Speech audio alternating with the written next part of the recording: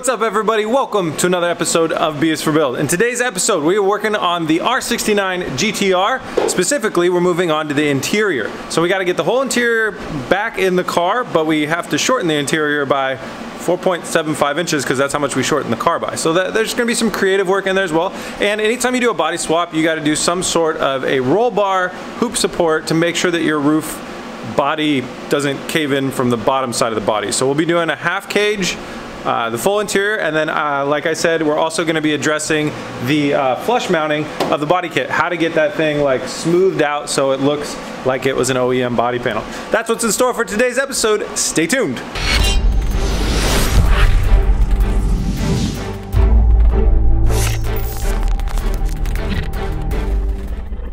Before we get down to work, I want to take a second out to thank our sponsor. Today's episode is sponsored by Zynga Poker. Some of you guys might remember I actually used to be a professional poker player. I played professionally for four years. Uh, I just met with one of my roommate, my old roommates in Vegas, and he just won uh, over a million bucks in a tournament, which is really cool to hear. They're still playing professionally.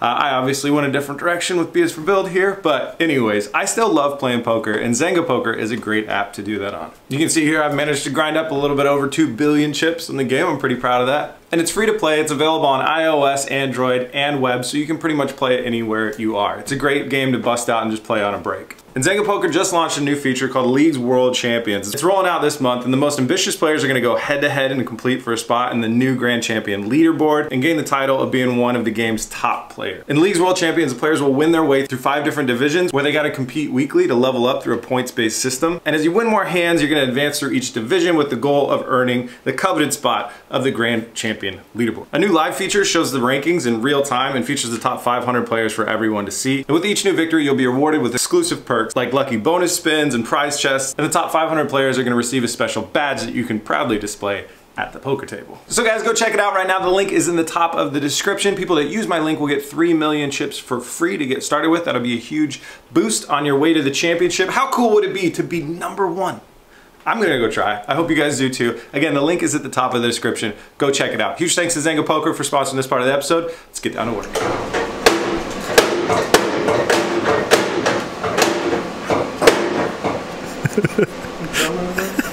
getting started, Oscar the Great Fabricator is working on connecting the last little finishing point of the outer shell to the, the inner body. So we got this wheel well area right here.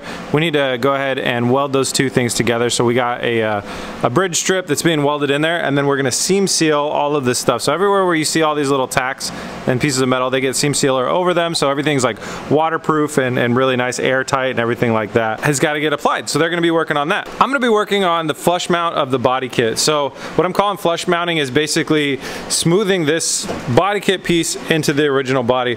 There's a couple main areas that I need to address. The edges, the body kit, you can kind of see it. it's got a step down and then the step into the original corner. The body kit didn't make a complete uh, point here, so we have to fill that in and make a nice hard edge that looks like OEM. Then we have the spot up here by the C-pillar. This all has to get filled in and then smoothed out, so it's a nice gradual transition up through there. And then also in our door opening, we have a little bit of that double edge happening as well. So we gotta redo that. Now to do these things, first thing you gotta do is sand through the OEM paint, make sure you have a nice scuffed up surface that your different fillers can attach to. So I'll be scuffing up this rail through here and through there. And then um, what I'm gonna start with is fiberglass reinforced body filler. Something nice, strong, durable, and, and pretty hardcore. Although we don't need to do a lot of buildup, it's a very, very tiny amount. I wanna use that as my base. So that's what I'm gonna be uh, laying into here. So I'll scuff this, scuff this, lay it in through here, through here, and all around my door on both sides.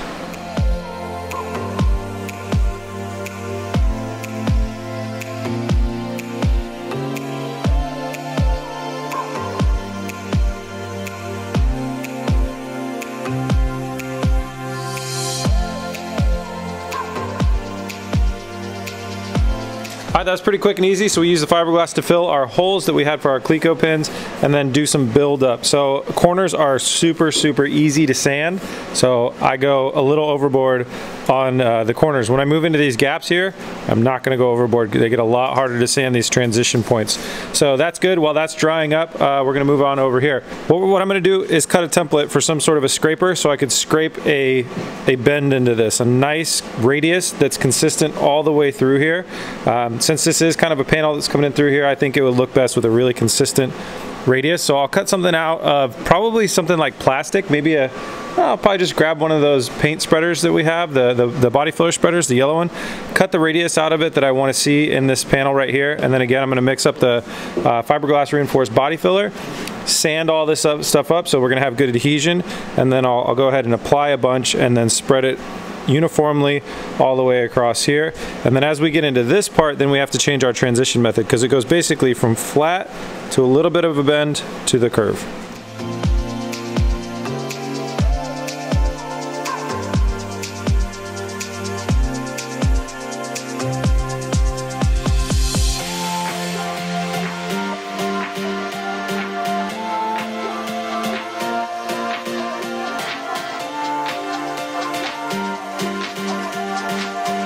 Got our fiberglass reinforced body filler coming in here and we got a nice curve. I was able to just use the back of one of the uh, mixing discs and get the, the right curve that I wanted. And you guys probably saw me like you gotta glob, you can glob this stuff on there, but then you gotta work it in, work it in so it has a good contact with both of the uh, pieces and everything like that. If you make a mistake and it gets an air bubble underneath, you're gonna get something like that. A little hard to focus on, but uh, yeah, that's like uh, that's where I didn't work it in well enough because I started rushing when I got over here. Uh, so that's, I mean, easy. I can body fill that in, but that's what happens. So you got to work it in really, really well and then smooth it out. So overall though, we've got this transition going pretty well. Once that hardens up all the way, I can start to sand it smoother and get ready for, for body fill. But you can see that I, I'm I'm very happy with the way that we got this transition with this curve and then the transitioning into flat here is gonna look really good. So I'm gonna move on to the last little piece, which is the uh, inside of the door here, just getting this ridge so it's nice and smooth. Um, again, getting through, oh yeah, you guys saw me work on sanding through all of this. This red paint's real bad, real bad. It's got some serious problems in it, so gotta sand off all the red paint before we get anything on there. So I'll be doing that in here as well, sanding this all the way down, and then filling this with the fiberglass as well. While I'm doing that, the guys are gonna move on to working out the body panel situation, like filling in this guy. You can see they've already started working on filling in that guy and uh, working our way towards the back seat.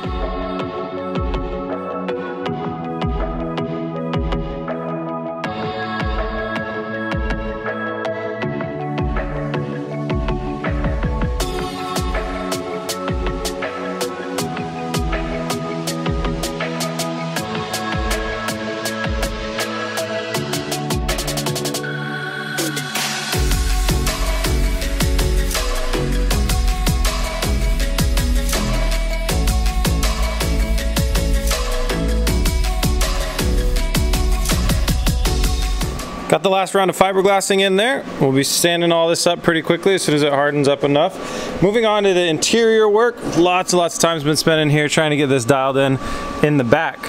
Um, so we got R34 paneling, R34 roof, R34 side, and then we're at R35 in the middle, here and here and here. You can see right along there is the only point that's that's visible and not looking great and uh, we've got an idea with working with some foam and some felt where hopefully we're going to be able to cover that up with like a nice felt backing and make it kind of fit in so we are you know we're just hoping that that's gonna let me show you from another angle. So it's just really that one thing right there, and we're thinking if we kind of cover it up with felt that it'll honestly kind of disappear. It'll be black, and you know, I don't think it would be a problem. So we're working on the rear deck now, and this is uh, so high off because of our speakers. Speakers are right there. Uh, it keeps this up really high and then we've been test fitting the rear windshield and it just will not uh, go in because of the speakers. So we're gonna try and flip these speakers upside down and actually install them from the bottom pointing up. See if we can do that.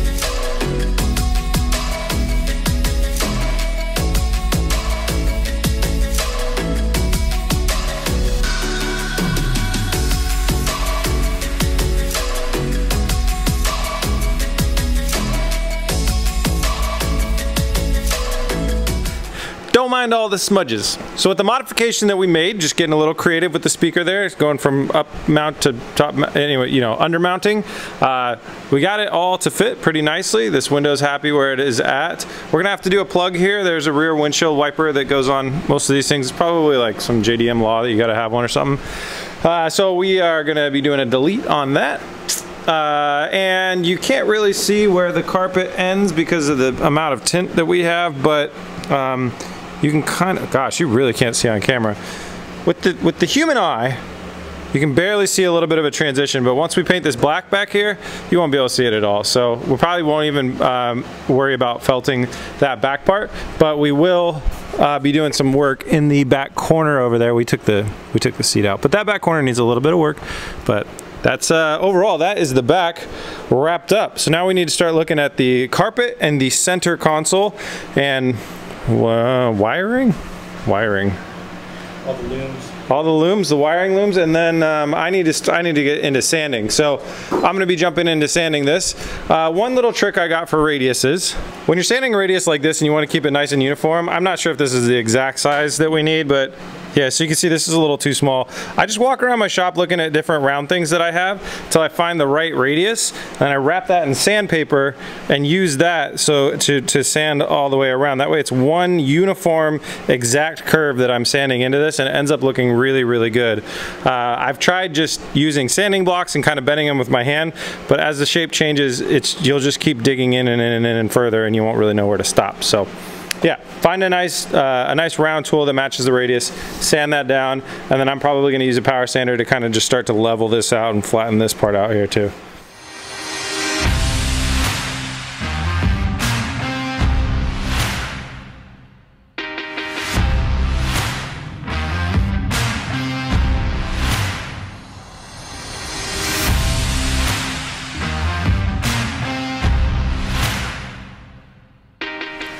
I got the fiberglass sanded up. I was able to use the power sander on, on these edges. You never want to do it on like the actual radius of the corner, but just the flat here and the flat here.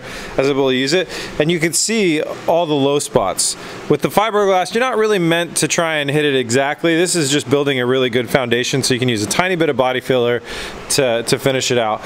Here, uh, you can see that this like this black stuff, that's a little bit of guide coat because I was sanding, I couldn't really see the high spots, so I just used a little bit of black spray paint as a guide coat, sand again, and then you could see see where you're low. For my radius, I found a Truly can was exactly the right radius that I wanted um, for this arch right here. And once you start to get a hard line at the bottom and a hard line at the top, and then you're not really standing in this anymore, you're done. You need to add more body filler. So the fiberglass uh, part of this section is done, and then the door uh, edge actually came out really, really nice. So that's gonna be a very small amount of body filler and that'll probably finish up first with the fewest amount of finish passes. So now it's a lightweight body filler to finish pass this stuff in. Um, we are getting ready to call it a night though. Um, so Oscar's got a lot of the wiring done, but we want to do another really fun job uh, before we get out of here. And that is to change the color of this headliner. So this headliner is the gray color because I think this was originally a gray car and they had a gray headliner and probably gray interior. We want this thing to be black to match the rest of the black interior and, and we can make that happen. We're gonna make that black too. Vinyl fabric paint is a thing, especially in in like low use areas. Like you shouldn't be really messing with your headliner too much. This will actually work very well. Oscar tried it on his truck and it worked. Seats aren't the best he says, but it, it does work, and uh, it's going to work well on this headliner. So what we're going to do is pull the gray pieces off. We'll mask them up and spray those with, wow, you really can't see, sorry. There we go. We'll pull that and that off, mask them up, and paint those with actual paint, and then we will spray the rest of this headliner, clean it up real quick, vacuum it, spray it with this uh, headliner paint, and we'll have a black headliner.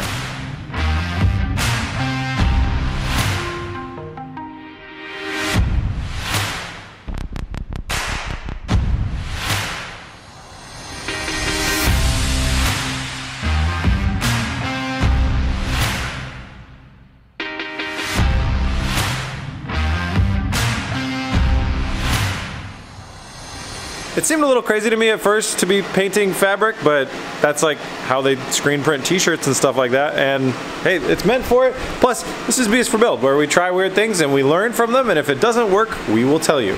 When I'm asking everybody if they know where I can buy a black R34 headliner from Japan. No, I actually think this will work just fine. We're back for another day and the headliner looks fantastic. This painting idea was a really good idea. That is awesome. So we're gonna be reinstalling that back in the car shortly. Uh, Oscar jumped onto the carpets. So the deal with the carpets is since we shortened the car 4.75 inches. Uh, the carpets were gonna be 4.75 long. We're gonna make a cut, well we did make the cut already, underneath the seat so the two carpet pieces will overlap underneath the seat. You'll never know anything different happened. Uh, you can see that also because we remove some of the width out of the car, the carpet looks a little bit long, so we're gonna be trimming a little bit of these edges. We came up with a really great strategy that I'm excited to see how it works uh, to attach that to the side rail, and then I got these awesome carbon fiber um, trim pieces that uh, like your kick panel trim piece uh, they're here too and they're gonna look really amazing. So we're gonna keep going forward. Uh, this carpet goes all the way up to the back and then there's some foam that goes here in the back. We'll get all that uh, built in there so we can get the carpeting done. Oh and while Oscar's working on that I'm gonna do the next step on the uh, flush mounting the body kit which is the body filler. So I'm gonna be doing a coat of body filler across everywhere that has low spots so every single spot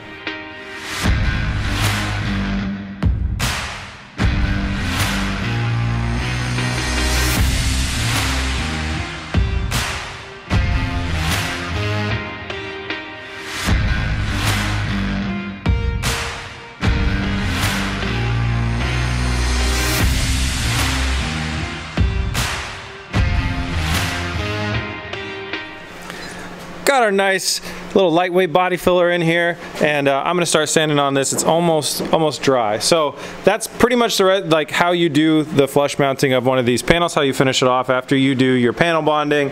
Um, it's a lot of just sanding attention to detail Remember to keep the same radius edge as you're sanding through it. Sand it. If you have low spots, add more body filler, sand it again. If it's it's going to be as good as the amount of time that you put into it, really.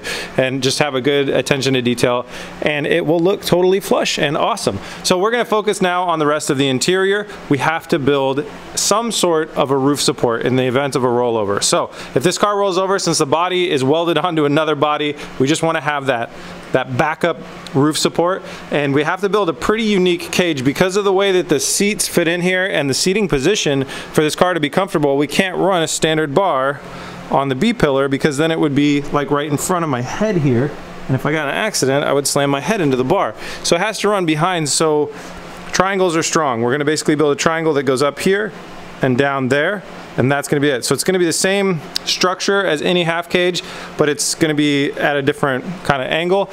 It doesn't matter as long as you have a nice support both ways and that that bar goes over the back of your head. That will support the roof in the event of an accident. Honestly, I think this car would be totally fine in the event of an accident, but better safe than sorry. So Oscar's gonna go ahead and finish up the measurements and uh, we're gonna, uh, he's got the angle finder in there, we're gonna bend up um, some, we're gonna use 175 DOM tubing, so that's like race spec tubing, and get that main bar and the two support bars uh, welded in there.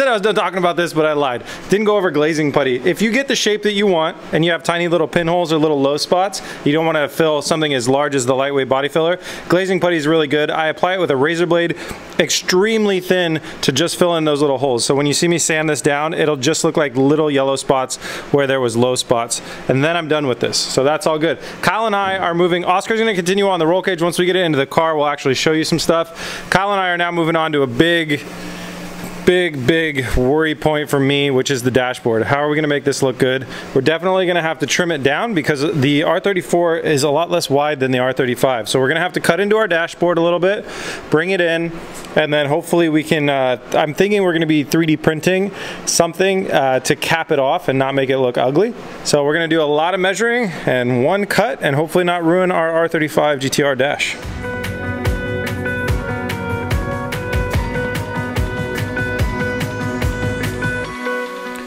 Well, that did not take long. Uh, we put it in here for some measurements. We got our measurements of what we need to do, and then we were uh, test fitting the door and shutting the door, and we realized something very, very important that we didn't realize before. This dash sticks out so much further than in the R34 that the door panel and the door handle part really don't play nicely. Like the dash comes out so far. Imagine if your dash was all the way out to here. So when your door's shut, you can't operate the door handle. We've looked at different ways to do this. I mean, we could cut up the dash and make it skinnier and different things like that, but it would look terrible. I think that there's a small chance that we could actually have the dash look great and build custom door panels, door panel inserts. And so this is called a door card.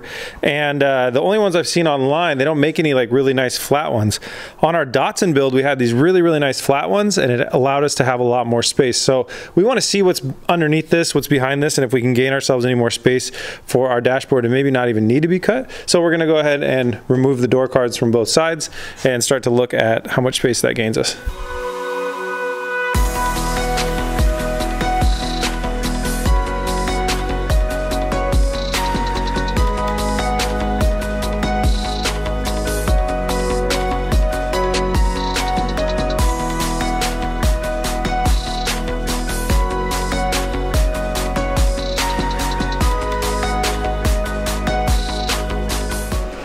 I'm very, very happy to say that we found a happy medium.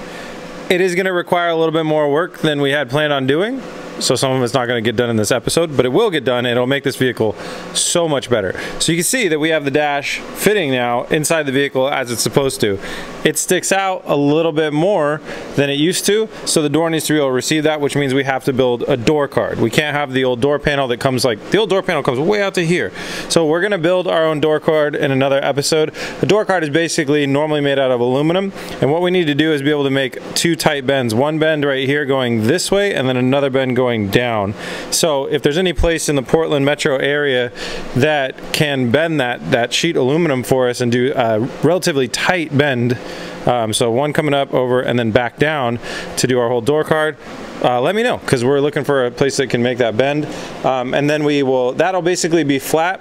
We're gonna relocate the handles back to about here and uh, it'll be pretty cool. And I think we'll, and then we're gonna have a, a, handle on there.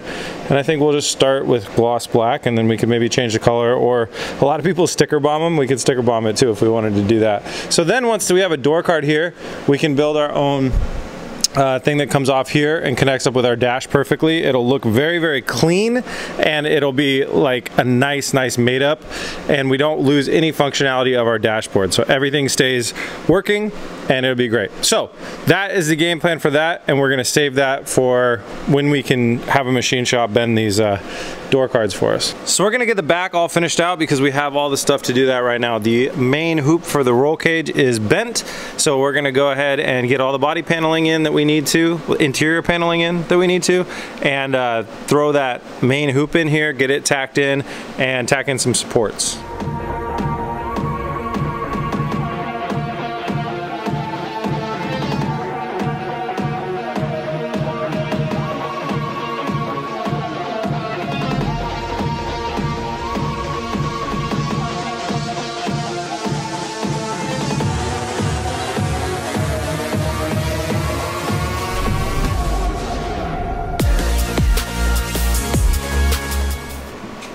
Cage is fully installed. It looks amazing.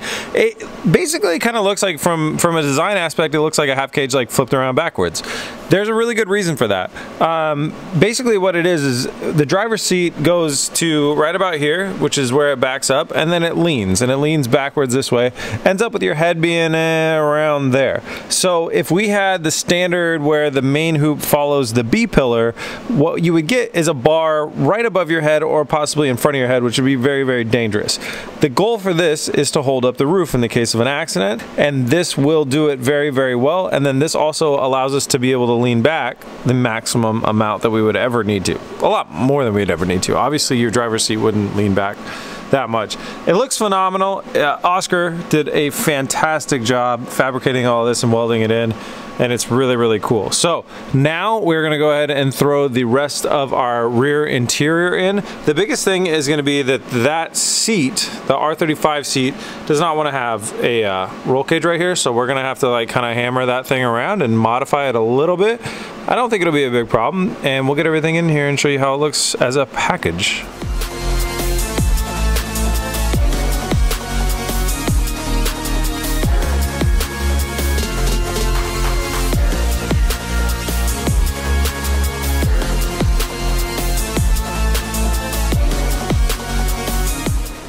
Right, guys, it's not quite too late in the morning, and we got the interior in. Now, obviously, like we kind of kind of had to make a stop point right about here.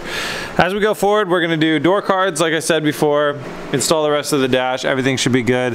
This looks phenomenal. So we did the felt in the corners there, filling in that gap right there. Also a little bit of roll cage action, fills in the rest of the gap.